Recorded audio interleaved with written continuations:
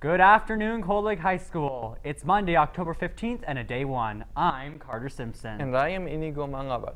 Hang in there, Cold Lake High School. Your Monday is only a few hours away from being over. Let's check out all your announcements and lunch specials.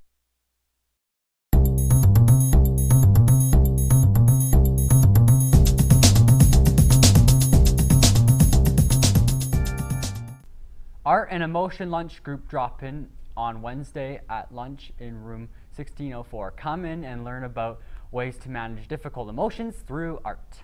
There's a student council and leadership meeting today at lunch in Mrs. Crowley's room.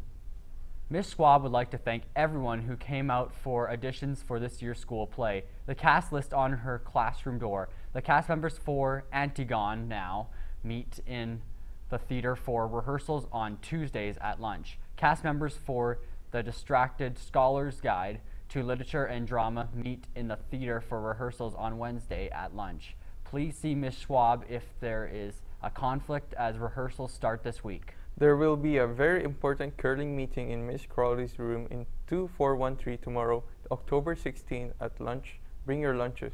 Boston Pizza receipts are being collected, so please bring them to the office. Attention all grade 12s, there will be an important grad meeting in Mrs. Thompson's room in 1405 on Wednesday, October 17th. There is a JV boys basketball meeting today, or no, meeting Wednesday, October 17th, 12:30 in the IE classroom.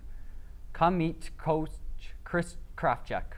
The buddies are all going to meet up now on Tuesday at 12:30 in the cafeteria. Meet your buddy to hang out or have lunch. To see you there.